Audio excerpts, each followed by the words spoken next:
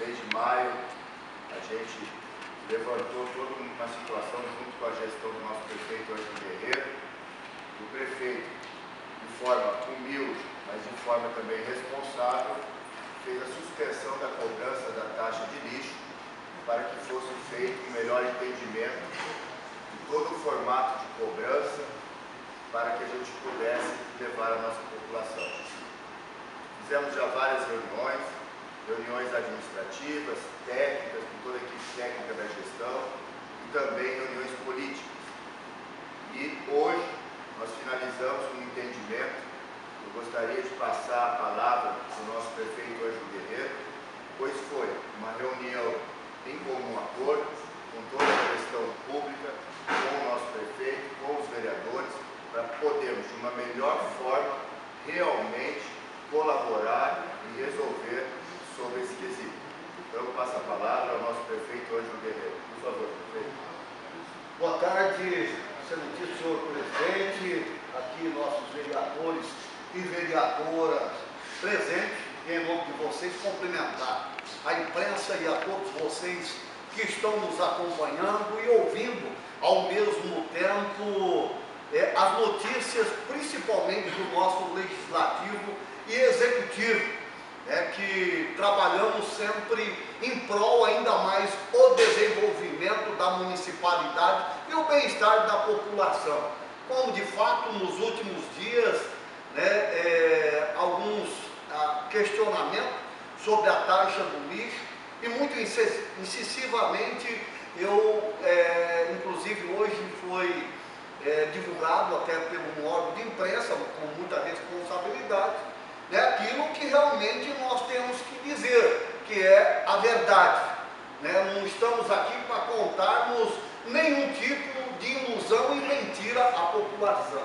Pois bem, um ato de coragem, parabéns, já vou antecipar dos nossos vereadores e vereadoras, né, tendo em vista que quando nós é, temos qualquer renúncia de receita, ela,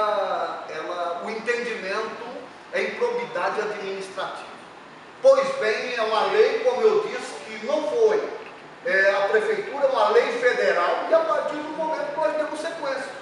Isso não é do nosso gosto, momento algum, tanto o executivo como o legislativo ter o desgaste. Né? Mas nós temos que sermos responsáveis. Pois bem, no dia de hoje, né, em, em reuniões com alguns vereadores, com o presidente da Câmara, é, era o horário de almoço, né, é, e ali nós chegamos num consenso. A Câmara Municipal, com seu ato de coragem, né, para poder, assim, contribuir principalmente com menos uma taxa, a lei ela vai continuar em vigor, deixar isso bem esclarecido a todos, mas na nossa gestão, tanto a Câmara Municipal, que aqui se marca a presença, e o Executivo, um ano e oito, um ano e seis meses, praticamente, a Câmara, ela se propôs de ressarcir mensalmente o que está é, escrito, o que está na LDO do ano passado, que ela está inserido esse, dentro do orçamento a taxa do lixo. Então ele gerando economia né, para poder assim contribuir é, com a população Três Lagoas. Sendo assim, já passei para o nosso procurador jurídico, a nossa secretária de Finanças, Soila, né, todo o contexto é, dessa reunião, né, mas não para por aí a população vai ter uma novidade a mais do ato de coragem, de bravura de cada um deles. Já tinha um projeto de lei é, pelo, pelo número do último censo, o município de Três Lagoas comporta 19 cadeiras, 19 vereadores. Pois bem, nesse contexto, os mesmos, ainda mais para poder é, não ferir o orçamento do município e contribuir, Hoje atualmente é 17, quer dizer que iria para 19. Eles estarão amanhã entrando com um projeto de lei diminuindo duas cadeiras para 15. Né? Em 10. É. Em 10, eles aumentarem mais duas, eles estarão reduzindo. Parabéns. É ato de coragem, de bravura, é ato que vocês estão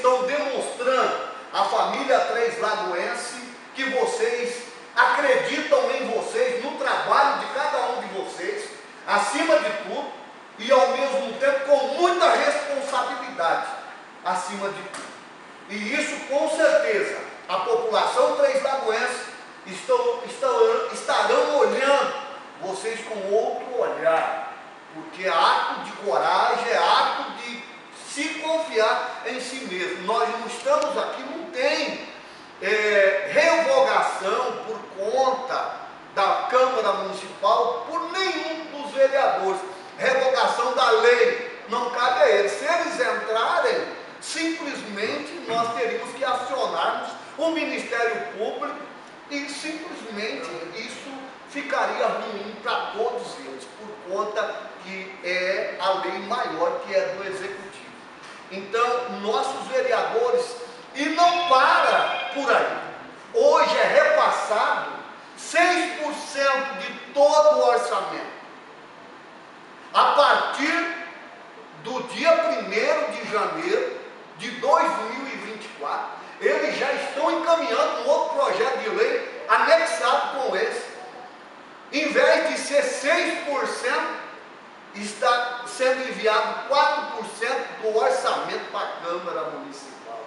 Parabéns a todos vocês por quanto que vocês estão ressarcindo, que chega na casa de 13 milhões e alguns quebrados, eles estarão assumindo, até por conta, para que eu não responda por improbidade administrativa, e nós estaremos aí dentro é, é, de uma zona de conforto, diminuindo. Não quer dizer que a taxa ela está extinta. No nosso governo, tanto é, executivo como legislativo, esse término do ano 2023 e 2024, junto com a Câmara Municipal, está garantido a suspensão da taxa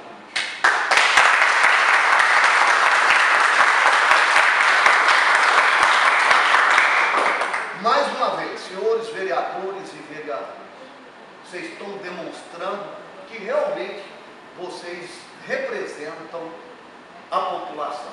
Tem mais uma vereadora que hoje, infelizmente, não foi possível estar por conta do falecimento do seu filho, né? É, a vereadora Charlene está viajando e os demais eu não posso responder. Né? Estou respondendo. Meus parabéns, meus parabéns, meus parabéns.